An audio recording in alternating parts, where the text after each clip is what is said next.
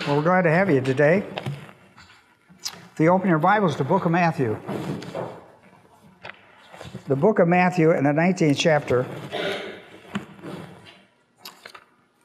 When we got into the Christmas story, we studied the life of Joseph and his struggle within the Word of God for truth.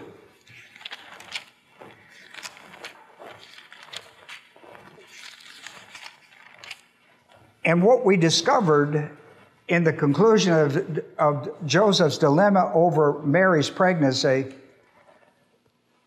was when uh, divorce is not optional. When divorce is not optional.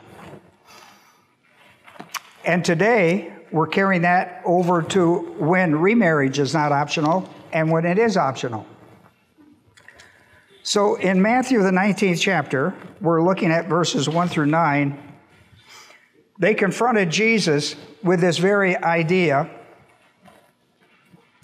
The, the Pharisees of the law. And here's how it reads, and pay careful attention to what Jesus, what they asked Jesus and what he told them. When Jesus had finished these words, he departed from Galilee and came into the region of Judea beyond the Jordan. Large crowds followed him, and he healed them there. Some Pharisees came to Jesus testing him, and that's where I pick up our story. Testing him and asking, asking, uh, testing him and asking, watch their question now. Is it lawful for a man to divorce his wife for any reason at all? Right? For any reason at all. Their, their argument, their legal argument, hey, Rhonda, see if you can help those kids. Well, they, they know where they're going. I, I should have said the kids to help you. Okay.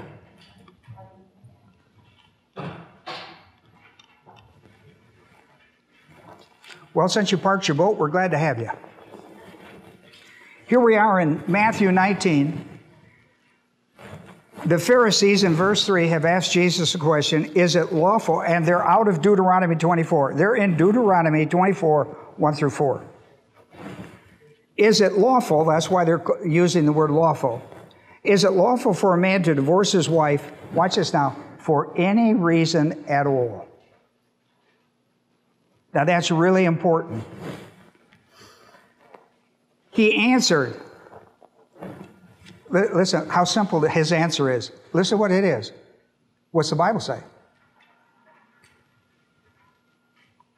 See, they came in to trap him with a question out of the law. They came well prepared in Matthew 24, 1 through 4, to trap him, to test him, to trap him. Right? And he asked them, What's the Bible say? See, they know, I'll, I'll spend a moment with you. They think they know. Agreed?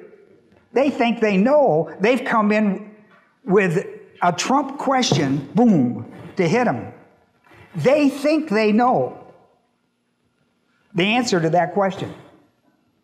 They're waiting for him to give them a reason to bring charges against him. It's a corrupt, it's a corrupt government. These people are evil. Now, watch this. He said, Have you not read that he who created them from the beginning made them male and female? He didn't go to Deuteronomy 4, he went to Genesis 1.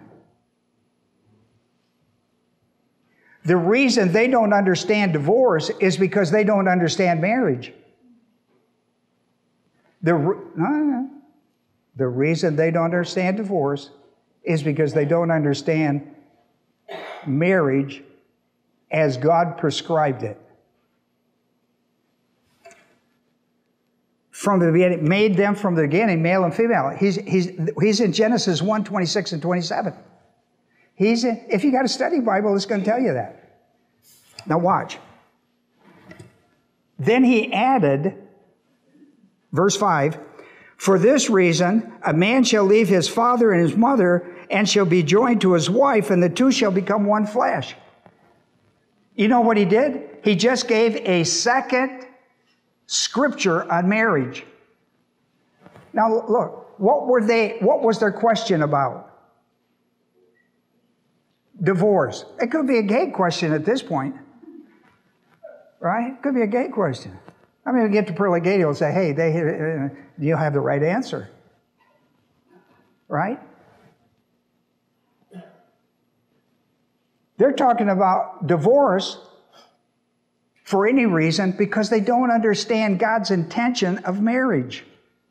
So he gave them two famous, undisputed arguments for marriage. One from Genesis 1 26, 27 and one from Genesis 2 18 through 25.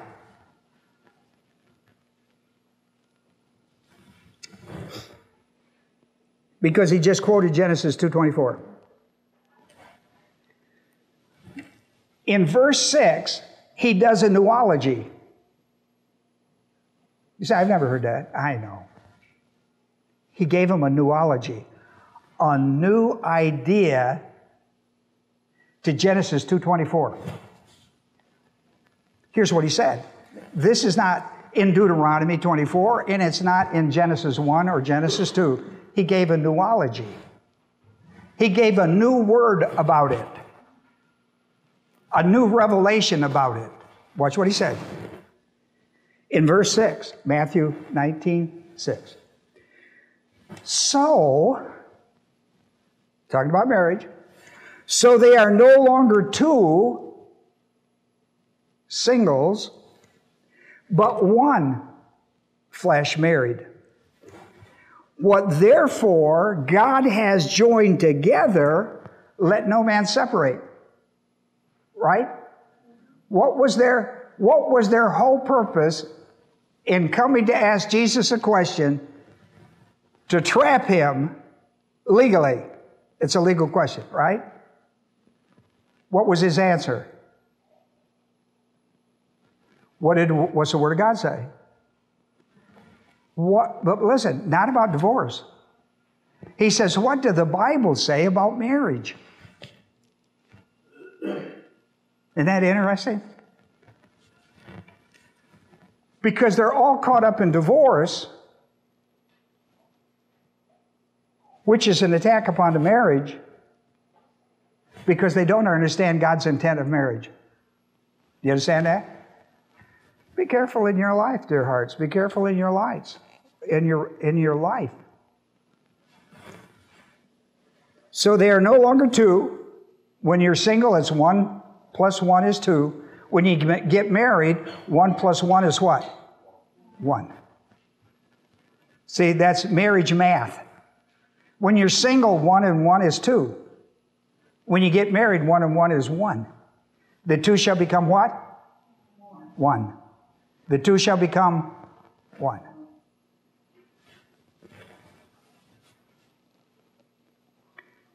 Then he said in newology, he gave a newology that says what? Let what? No one what? Separate. Bec- separate what? The one and one from what? One. Don't let anybody separate the one and one that's become one. Listen to me, not even you. Are there grounds? Mm-hmm. And we'll talk about them today.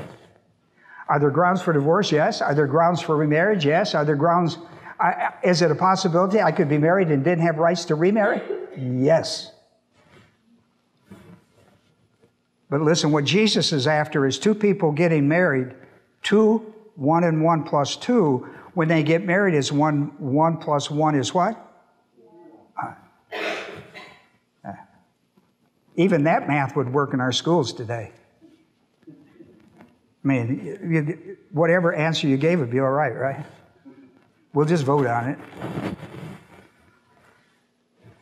They said to him, they're not content with what he's told them about marriage.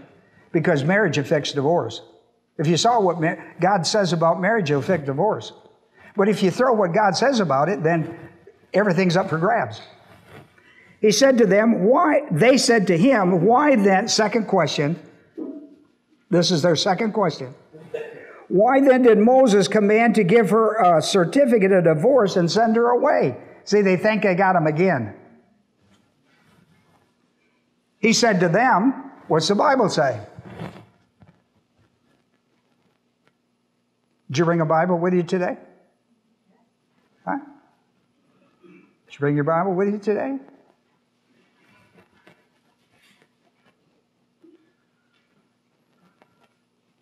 You know why we provide Bibles in the church, in your pew? Because people show up without them. You got your driver's license? You got your driver's license with you?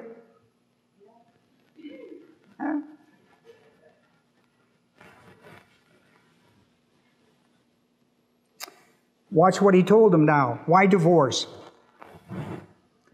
Well, why did Moses command to give a, her a certificate of divorce and send her away. He said to them, Because of the hardness of heart. Let me tell you, the number one cause of divorce is what? Biblically, what is it? Nope. Hardness of hearts. How do I know that? Jesus told me. Right?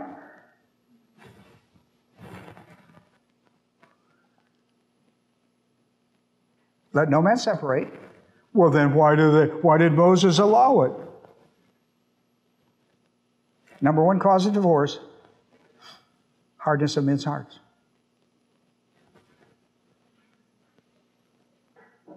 And who is that heart? Listen to me now. Who is that heart against? Who, who decreed marriage in the human race? Huh? God Almighty. Genesis 1 and Genesis 2.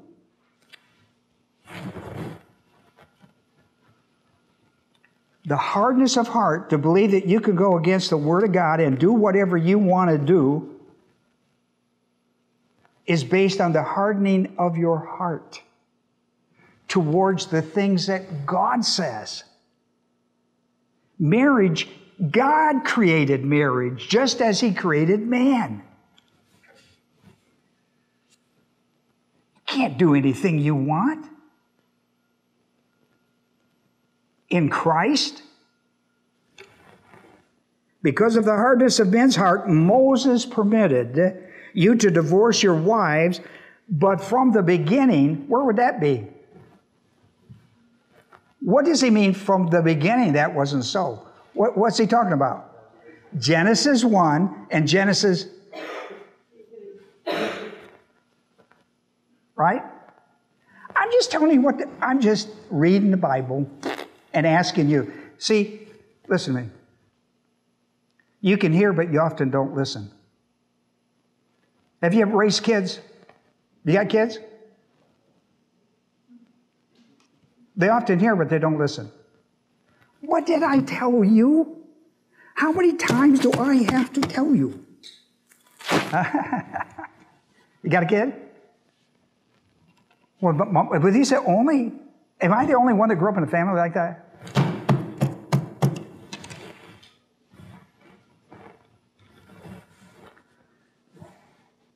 From the beginning, Genesis 1, 26, 27, Genesis 2, 18 through 25. From the beginning, it has not been that way. I say to you, whoever divorces his wife, now watch this. We're back to Deuteronomy 24. That's where they wanted to go. They, they didn't understand how big a deal marriage is to God. I say to you, whoever divorces his wife, except for immorality. That is not a Greek word. That's an English interpretation of porneia. In Hebrew, it would have been erwa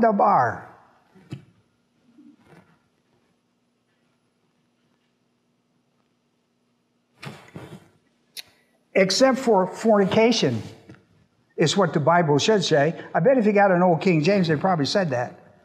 They, they mix words like we do today. We change our language, right? When I grew up, words meant something completely different than they mean today. I would never buy a dictionary out that was produced in 2000. I'd go back and buy a dictionary. You know what English words mean anymore. Changing pronouns and everything. It's just stupid. Well, whoever divorces his wife except for fornication and marries another commits adultery to the first wife. That's Deuteronomy 24, 1 through 4, by the way. So let's have a word of prayer, and I'm going to get after this because we're in deep trouble in America. We are in deep, deep trouble.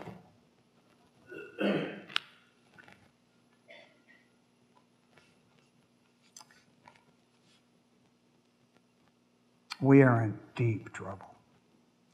The church of the Lord Jesus Christ in America is in deep, deep trouble.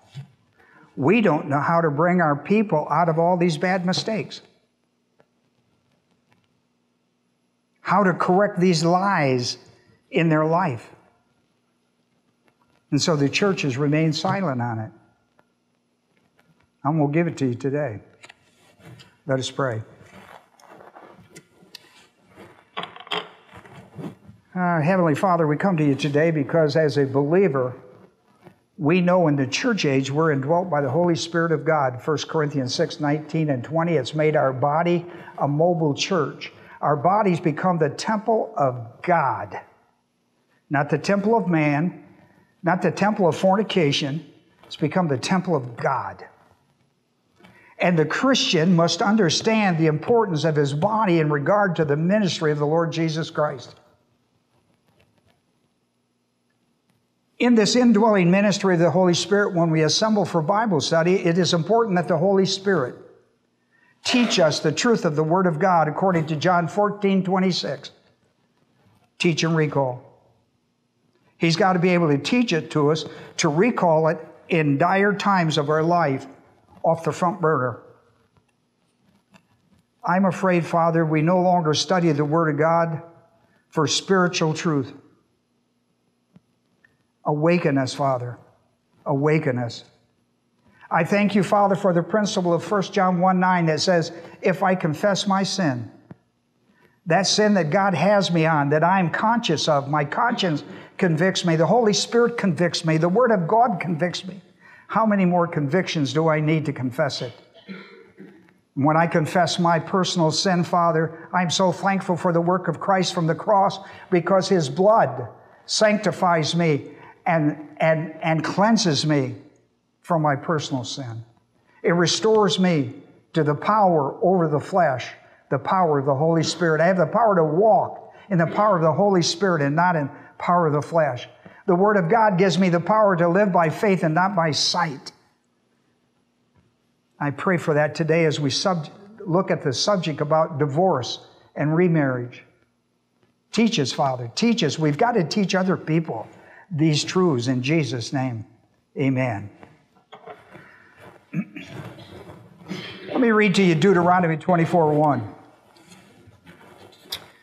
When a man takes a wife and marries, marries her, and it happens that she finds no favor in his eyes, because he has found some indecency in her, English writing of that, that's Derwa, that's erwa dabar. Erwa dabar in Hebrew. Jesus translated that into Greek as porneia. Because she has found some in, he has found, he has found some indecency in her. And writes her a certificate of divorce and puts it and puts and puts her uh, hand and puts it in her hand and sends her away from his house. That's what they have brought before Jesus to get him to explain divorce to them because he, he's been opposed to it, with an exception of porneia. Because what they, how they translated indecency, erwa dabar, listen to me, was for any reason.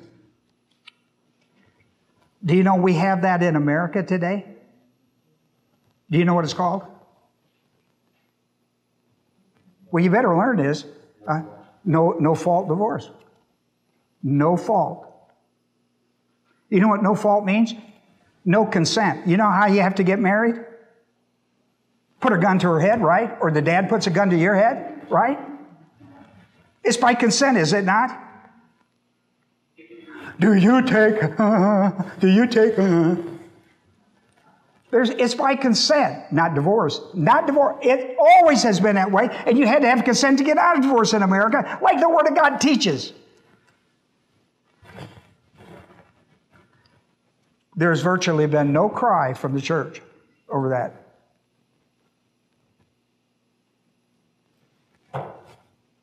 And it's destroying marriages, it's destroying families in the church as well as outside the church.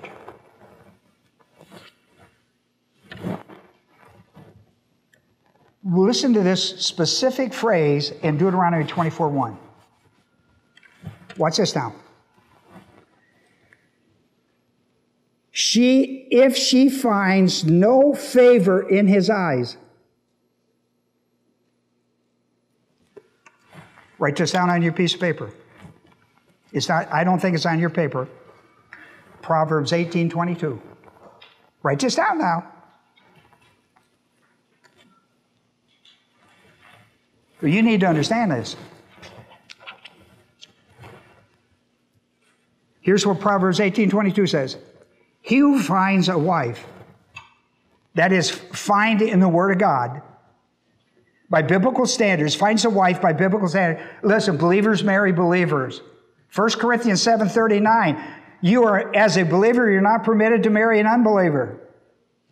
You're not permitted to go into that relationship knowing that person's unsaved. 1 Corinthians 7.39. Come on.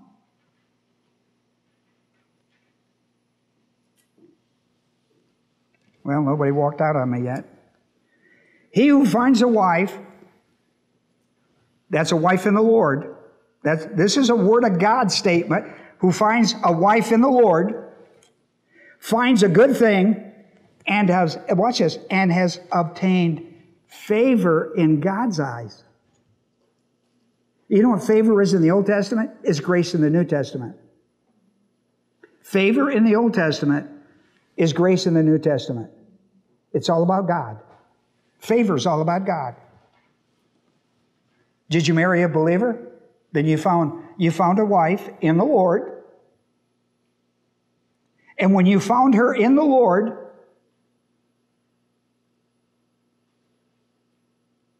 not in the woods, not at the beach. It's okay to find them there, by the way. But they better be in the Lord. Has found favor in the eyes of God. When you look at your wife, you should look at her with the eyes of God in favor. Do you understand that? Do you know how hard it is to find a godly woman or a godly man to get married today?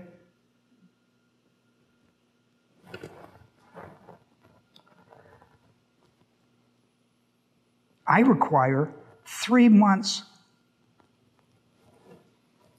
counseling.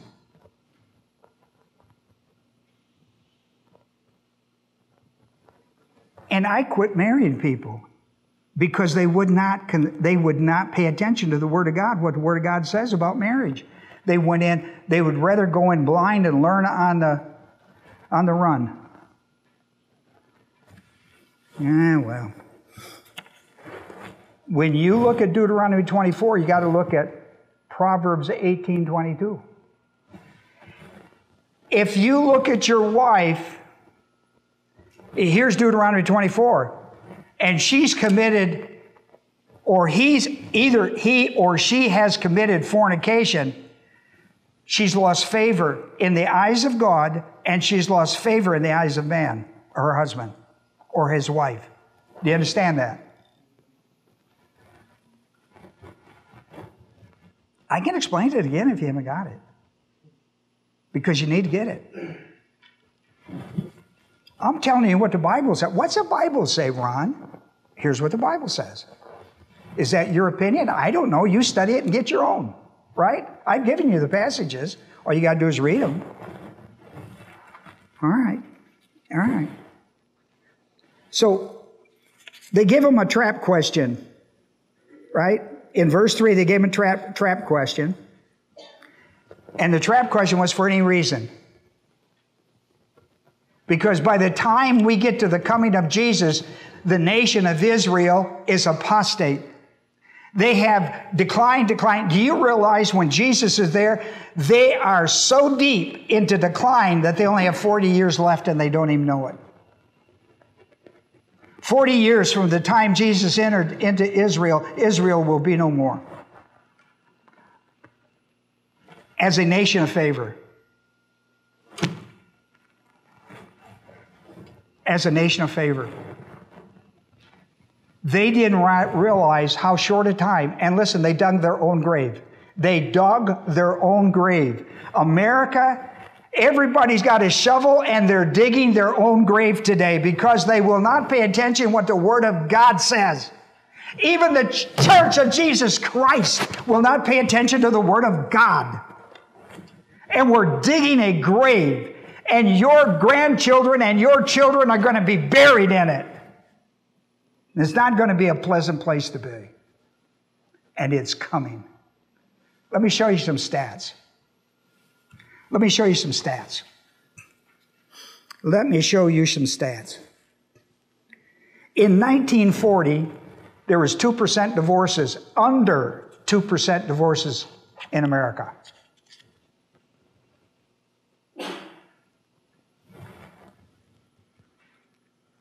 In 1970, this is really important idea. 50 years later, we're in a deep decline and marriage is becoming routine but difficult. In the 70s, you could get a divorce, but it was difficult. Then he came along with this goofy stuff about no fault divorce, where you don't have to have counseling, you don't have to have discussion, you don't have to have prayer, you don't have to go back to the church and the pastor and all that kind of stuff to sort it all out in your life, to know whether or not you have rights for divorce and rights for marriage.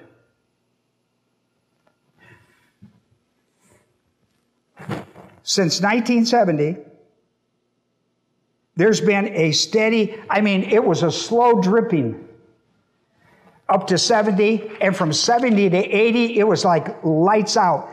In 80, in 1980, in the baby boomer generation, divorce rate jumped 290%. Who can even wrap your mind around that? 290% with the baby boomers. And by the way, those baby boomers that are still alive are still doing it.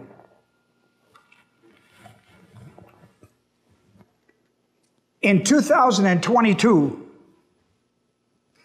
60% of America is divorcing between the ages of 25 and 39. Can you believe that? I mean, your diaper hasn't been off long. Surely the diaper in, a, in the world of evil. Do you know that today, and 2022, as it closes out and 23 enters, that the United States is the third highest nation of divorce in the world. The beacon of the light of Christ, the beacon of the light of Christ, the United States of America is the third largest company that says, throw your marriages out, throw your children out with them. My, my, my. Listen to this, Alabama. We're number three. Of all the states We tie with Wyoming as the highest rate of divorce. Uh, Alabama. Yeah, jeez.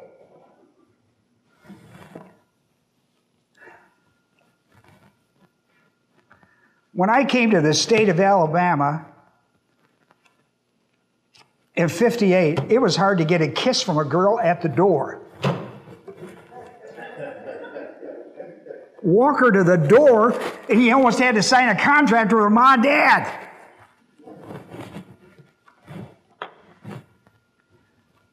Fifty-eight.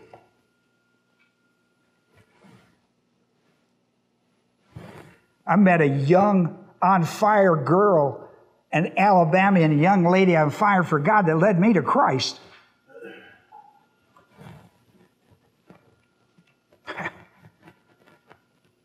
now we're tied up with Wyoming. I would think, Wyoming? Are there girls in Wyoming? I've been to a lot of places in America. I've never went to Wyoming. Never have a desire to go. And I know, I know, uh, Hope and them. You got some people out in Wyoming, don't you?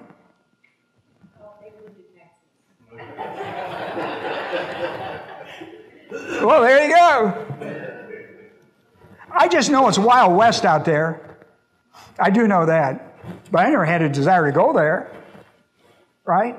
I never. It's probably a beautiful place. I don't know. I just Wyoming. I mean, like I. If you can spell it, you probably go there. I don't know. Watch this.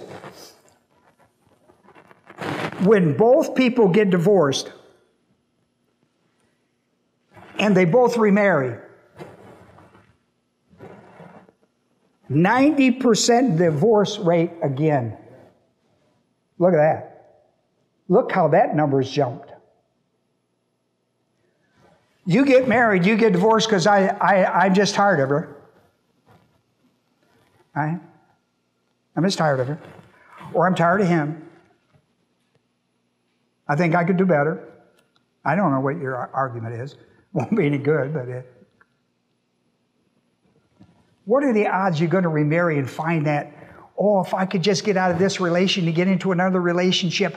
Oh, I know I could find the goose that lays the golden egg. Right? Yeah. The odds are you found it and then got rid of it. Probably your smartest choice was your first one. That's been my conclusion as a pastor. I meet these people all the time. They go, man. Eh, eh, eh, yeah? Watch this though. Out of that 90% getting divorced again, 65% of the children live with a single mother and live under the national poverty line. And the primary reason is they can't get any money from a do nothing husband. Boy, would I hold his feet to the fire. What can you do about it today? You go to court, you're going to take him to court. The court's screwier than, the, than your divorce is. My, my, my. That breaks my heart to think that.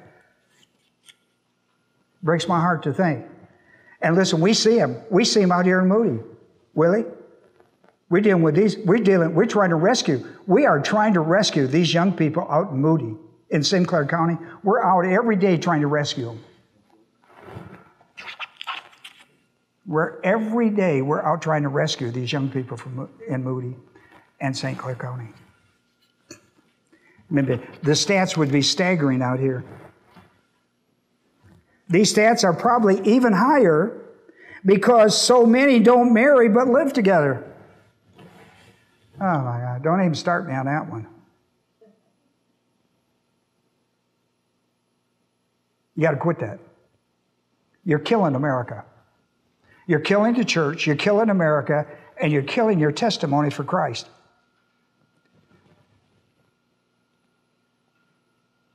When one becomes one, they're one. Just because you don't get married, don't mean you're not married. You having sex with her? Well, hello. You having sex with her? Well, how about that? You know, you know, when I started dating, you know, my mother said, my mother set me down, single mother, set me down. So let me tell you a little story how things are going to be when you start dating, Ron. I said, okay. Of course, you know, you know everything at that age. Well, here's my mother. My mother, what my mother ever said she would do, my mother always did it. She said, Well, let me tell you, you go with a girl, take a good look at her because if you get her pregnant, she's going to be your wife. I go, Why? Run that one more time through me. I didn't miss anything because I, I started to sleep when she started. Well, let me tell you about the birds and the bees. Right? And she said, If you think I'm kidding, and you know what? Every person I dated, I thought about that. Because I know my mother, either that or she'd had a funeral. My mother was the real deal. My mother, E.F. Hutton, E.F. was in the room. So let's take a look at this today. I'm going to teach you a little more in the first half, and then I'm going to come back the second half. I'm going to give you seven biblical ca- cases for divorce with rights for remarriage and without rights for remarriage. Here's the first. If you're, and listen to me closely now, if your, mar- if your marital mate is found guilty of porneia, that's fornication, which is any illicit sexual act outside of marriage. Matthew 5, 31, 32 supports Matthew 19 9 and Deuteronomy and corrects the thinking of Deuteronomy 24 1 when it talks about some indecency found. That's porneia. Jesus transliterated erwadabar to porneia, the Greek idea. What does this mean? What is porneia? When you study the passages in the scriptures of the New Testament, you will find such things as adultery, prostitution, uh, homosexuality, pederasty, uh, pedophilia, incest, and bestiality, such things as that. I know you don't read the Bible, but if you did, you could find it in 1 Corinthians 6, 9 through 7th chapter, verse 2. You could find it in 1 Timothy 1, 9 through 11. You could find it in Ephesians 4, 17 through 21. And in Deuteronomy 22 22, they call it evil in a nation. When this thing begins to be rampant, it is, it is, it is spreading evil in a nation like wildfire. We're there. We are there.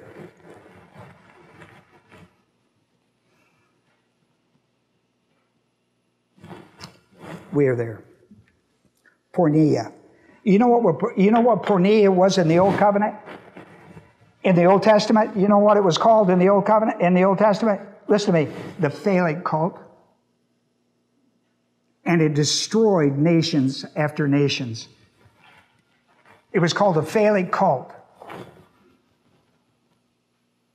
Well, just look up the word phallus and you will get the idea. It is evil committed against divine institutions. And what's the primary cause? Hardness of hearts. And please don't forget that. Because we like to use every excuse in the world. And it boils down to one hardness of heart against God. The hardness of a heart against God and the truth of the Word of God. Let the Bible be your guide. Don't let what the world tells you. Well, I can do what I want. I'm 21. I can do what I want. I don't care if you're 101. You still have to obey God.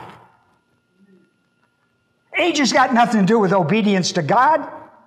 Your heart. Love God with all of your heart, all of your soul, all of your strength, and all of your, all of your mind.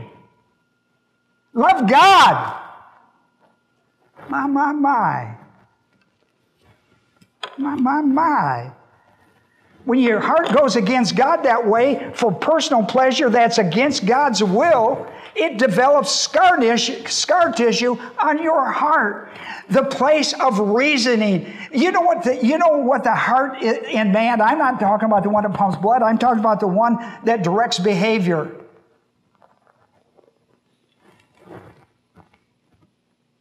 That's where the Word of God goes. If you believe in your heart, if you believe in your heart, if you believe in your heart, the Bible over and over tells you that. What do you mean it's your life and you can do? What do you mean it's my life and I can do with it what I want? Are you born again? then your wife, your, your life does not belong to you. It has been crucified with Christ, nevertheless. Right? It is not I, but He. It is not my will, but His will be done. This is not brain surgery talk, but it is heart surgery. So, the innocent party, if your mate is engaged in porneia, the innocent party has right for marriage, but not with a guilty one. That's Deuteronomy. Point number two if a mate guilty of porneia remarries and gets divorced again, now watch this. He, he gets married. This is typical. His wife, you know, burned his toast two mornings in a row. That's enough for me. For any reason. Not biblical.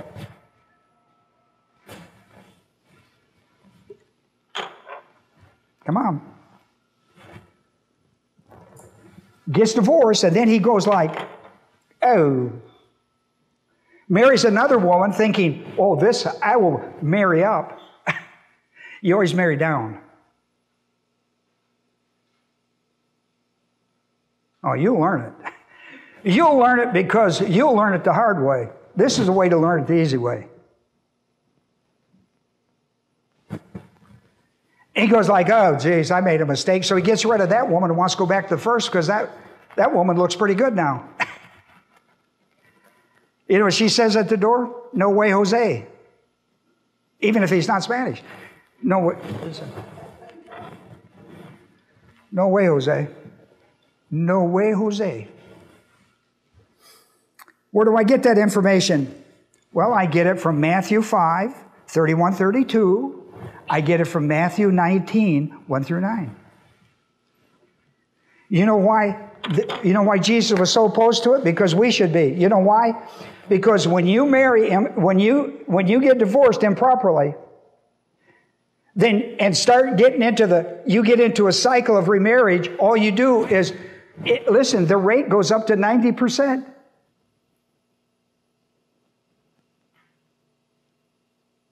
you start going through women just like a beer bottle i don't know where that came from but that's when marriage is not optional remarriage is not optional I'm going to do one more, and I, we'll take we'll take a break in a minute. I might get a couple done before we take a break, but anyhow, if a guilty mate marries again, the innocent mate. Now watch this. This kind of the innocent mate of the first marriage is free to to marry again based on point two, because she can't marry the first guy back again, right? If you get divorced and he remarries and then says, and, and you stay where you're supposed to, and you stay in your lane, and he goes back, you know how they do. You say, No way, Jose. Because you don't have rights to remarry him. You know why? Because he's dumb. He'll do it to you again. You're not permitted because what this guy is going to get into, or gal, is into this idea of remarrying. And it's a cyclic idea. Why did, what was the cause of the first divorce? Hardness. Will you not learn that? Hardness of hearts. So how's that? Unless that's changed, how's that going to change, right? Well, I made a mistake. That's that don't correct hardening of hearts. You got to take that hardening, you got to take that callousness off, which is old man thing. You got to take that off and put new man thinking on. You've got to learn to live in Christ. Christ should be the supreme goal of your life. Christ should be the supreme goal of your life at any age. For me to live as Christ and to die is gain. I've been crucified with Christ. Nevertheless, it's not I who lives, but it's Christ who lives in me. Why isn't that the marching order in your life? If the guilty mate marries again, the innocent mate of the first marriage is free because she can't marry him again. But listen to me, she can only marry another person in the Lord. It has to be a believer. She should be, smarter the second round, shouldn't she? You would think so. The fourth, the death, the death of a mate or ex-mate. In other words, you got got divorced and he remarried. Yada yada. How many times don't matter. And he dies. Gives the surviving mate rights of remarriage, but only in the Lord. Otherwise, this is another example. If you don't marry in the Lord, as I hear so many people, well, you know, I'm 60 years old and I don't know what I'm doing. Some of the dumbest people I've learned. I'm in a category now, and I, I'm with these people all the time. What goes on at nursing homes is worse than high school. Did you know that? Well, come with me and I'll give you a, a retirement home ministry to shock you. These people float around at night and they can take a look. I didn't know where I was. I mean, what a line that is. Huh? Must have been something in the food today. I don't know what made me crazy. So watch those little old people that you put in a nursing home. They might have a smile on their face all the time. I gave you scripture on it. I gave you scripture, 1 Corinthians 7, verse 2 and 3 and 39. If a mate uses no false gimmicks, they would say like incompatibility, for example. Actually, it means without consent. In Matthew 19, it was for any reason. Just come up with any reason. Right? And remarries, if a person uses the default gimmick and remarries, it gives the believer, the ex mate, rights for remarriage. Deuteronomy 24, 1 through 4, Jeremiah 3, 1. But even then, you can only marry in the Lord. A believer can only marry in the Lord. You marry another believer. 1 Corinthians 7:39. Uh, number six, desertion of a marriage by an unbeliever. You could have, both of you could have gotten married and the, salvation and all the church and all that stuff wasn't an issue. And one person gets saved in the marriage, which happened a lot in the early church, which happens a lot in America. It used to. Um, the desertion of a marriage by an unbeliever, he goes like, I, I, I can't stand all this Christianity stuff in your life, so I want out. Gives rights to the, the deserted mate to remarry right? 1 Corinthians 7 is a great passage on this. 1 Corinthians, 1 Corinthians 7, and 12 through uh, 16. Let me show that to you. Let's take a look at that. It deserves our attention. 1 Corinthians 7. But to the rest I say, he said, like in verse 10, but to the married I give instruction, not I, but the Lord, that the wife should not leave her husband. If she does leave, she must remain single, uh, unmarried, or else be reconciled to her husband. That's, that's when you have no, no fault type thing. And the husband should not divorce his wife. But to the rest, I say, not the Lord, that if a brother has a wife who is an unbeliever, and she consents to live with him, he must not divorce her. A woman who has an unbelieving husband and he consents to live with her, in other words, under the roof with a Christian with Christian values, she does she does she must not send her husband away. For the unbelieving husband, and here's the reason why Paul says, the unbelieving husband is sanctified through his wife. In other words, she's, she, she's a missionary living with him sanctified through the wife, set apart unto the gospel. And the unbelieving wife is sanctified through her believing husband. In other words, the believer in the home is a live in missionary, has brought holiness to the home. Yet, if the unbelieving one leaves, let him leave. Here we go. The brother or the sister is not under bondage in such cases, but God has called us to peace.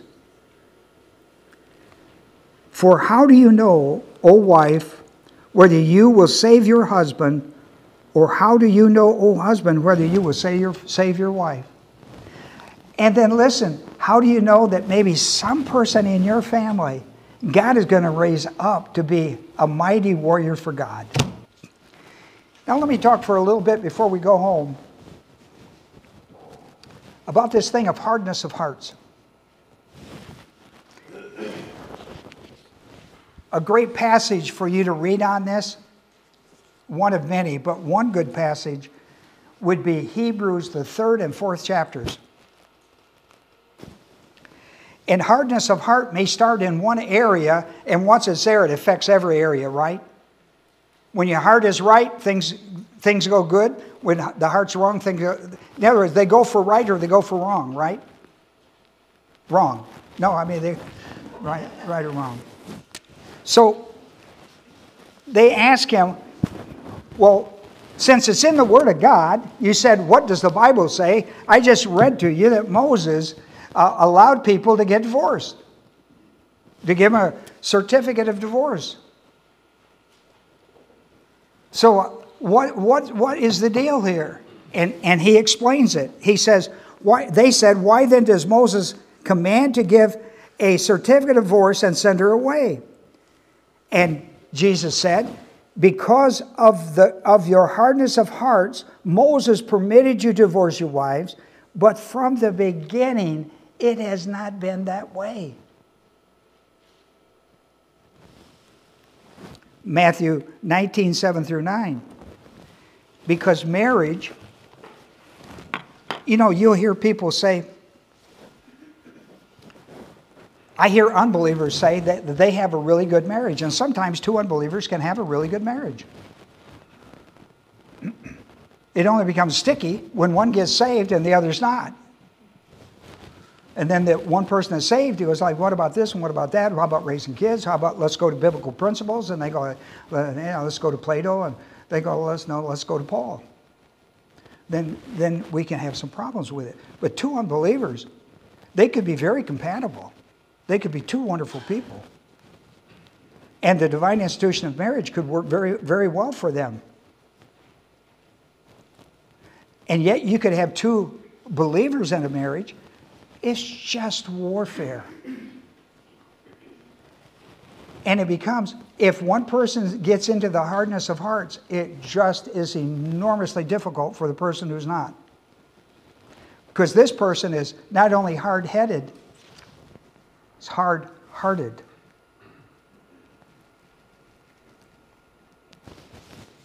And when he's hard headed, it's, it's, it's maybe a mind over matter. But when he's hard hearted, that's his whole belief system.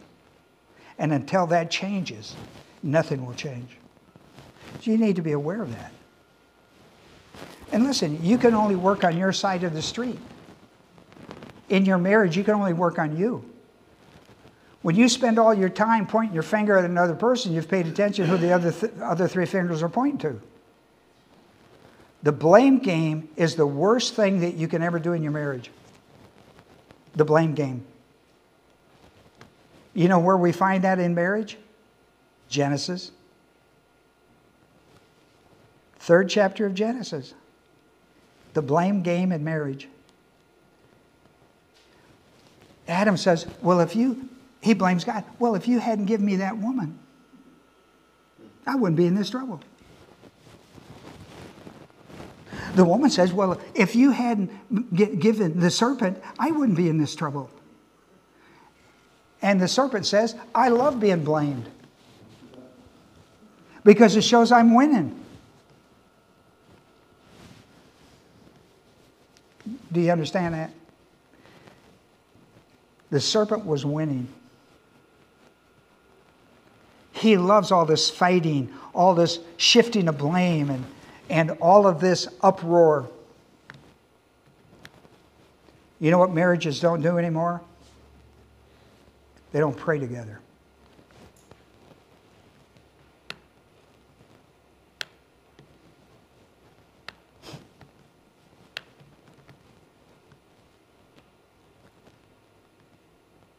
Somebody's got to start that ball rolling. Well, Ron, we pray, we pray at meals. Yeah. Thank you, God, for the food, but I hate my marriage. That ain't going to work. You know, you can pray one to God and then another one to yourself, and He listens to both of them and judge you on both of them. You need to pray together. I wouldn't know how to begin, Ron. Well, you say, Father, here are some of the stuff on my plate my marriage, my family, my business, my church, my health.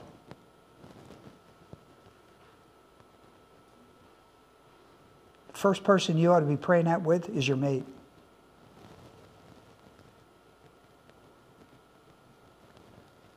And the man needs to lead. The man needs to lead. I mean, he leads in other areas. Huh? How about it, girls? He can lead. Huh? You know when he wants when he wants to lead, don't you? Come on.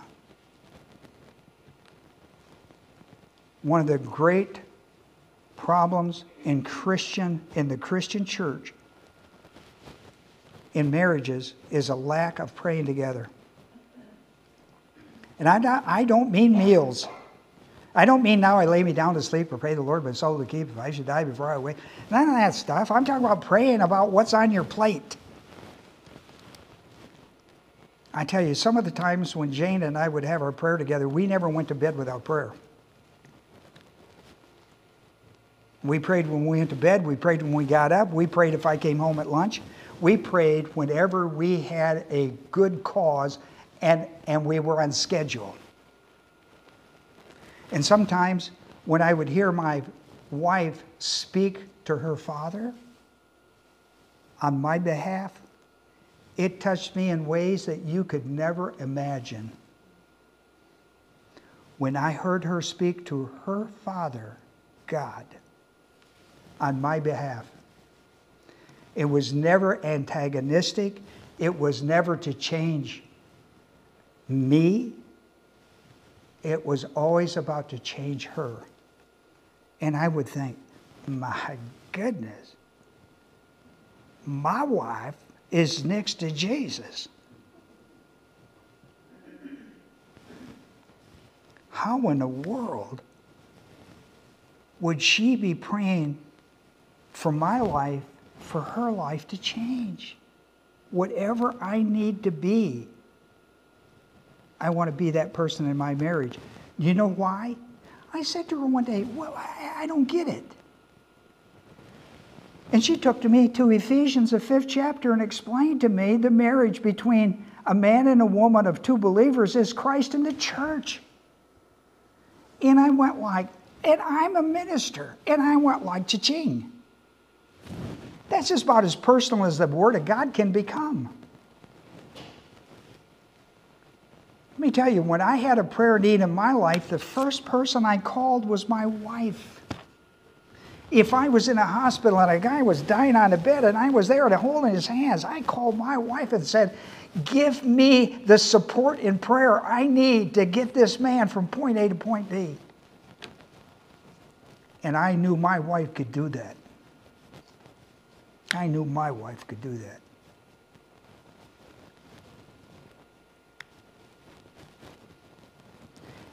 And I tried to be that man in her life. I tried to be that man in her life.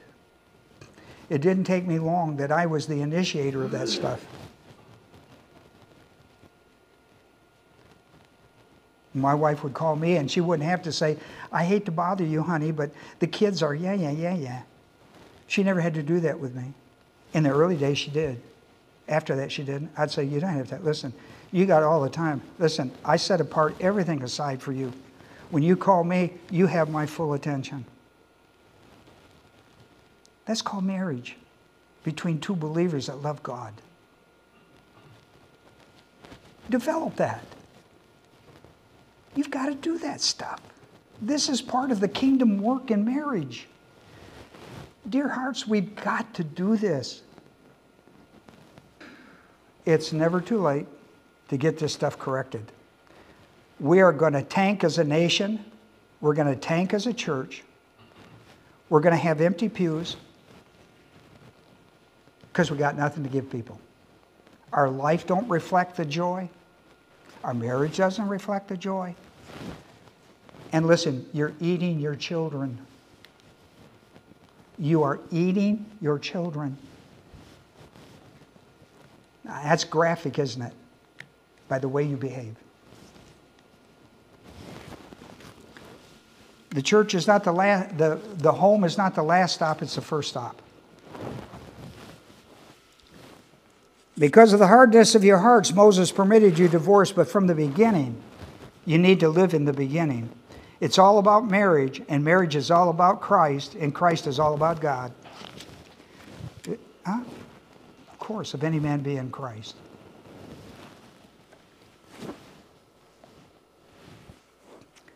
For the unbeliever, divorce attacks divine institutions of marriage and family. We've read the stats on it. For the believer, it attacks the church of Jesus Christ. It attack, when you attack your family, your marriage, and your family, you attack the church of Jesus Christ. You're blowing out the candle. You're turning off the lights. Your home is all about Christ. Let that little light shine and let it shine bright. I hate this divorce rate in Alabama. We're going to correct that with our young people. We're going to correct it. So, Father, we thank you today. Study the Word, talk about the excitement, things that have to go on within the body of Christ, the church, in a declining nation, and how difficult it is even to find the working staff that is necessary in the body of Christ, the church because of it. But we're content with you, Father. We're content. Discipleship is always changing. A revolving door in the church, and it's been a wonderful experience out here. It's been a wonderful experience to see young people come to the knowledge of Christ and to be excited about the study of the Word of God and to see how difficult it is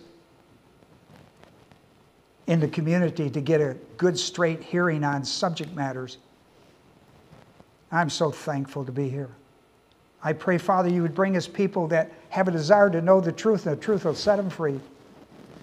Set them free about marriage and dating and courtshiping and all these things that have just been thrown under the rug and not discussed publicly and openly among our youth. That day is, that day is over. We are going to bring it to the young people because they're open to it. Nobody's telling them the truth. They can carry it home and tell their parents, their grandparents, as I did.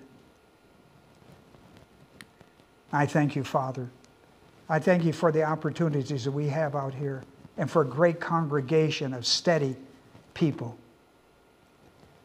We look forward to 23 not only for home missions, but for foreign missions.